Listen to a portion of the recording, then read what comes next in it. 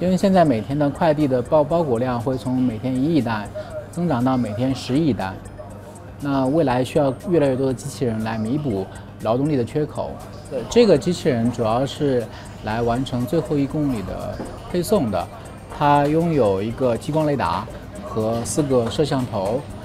可以完成最后三到五公里的配送。